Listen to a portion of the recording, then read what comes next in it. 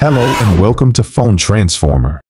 In this video, we will teach you how to back up your phone contacts to Gmail so you can access them from any device and never lose them. Let's get started. Step 1. Go to Settings. This is the app that looks like a gear icon on your home screen or app drawer. Tap on it to open the Settings menu. Step 2. Scroll and click on Google. This is the option that has the Google logo next to it. It may be under a section called Accounts or Cloud and Accounts, depending on your phone model. Step 3. Tap on Settings for Google Apps, then click on Google Contacts Sync. This is the option that allows you to sync your contacts with your Google account.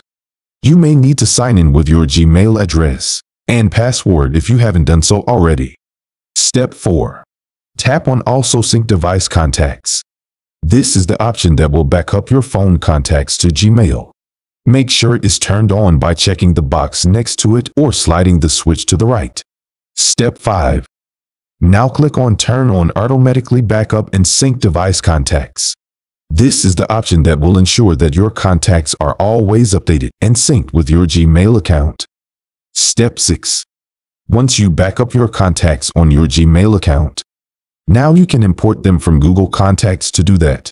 Open the browser and go to Google Contacts, then tap on the Export Contacts button, and tap on Export it will export all of your contact list. Step 7. Next tap on the dots icon, then click on Import and select the file from your devices or cloud storage. It will import all of your backup contacts that you saved on the Google account. That's it. You have successfully backed up your phone contacts to Gmail.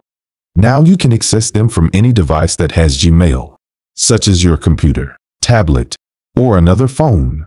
We hope you found this video helpful and informative. Thanks for watching and see you in the next video.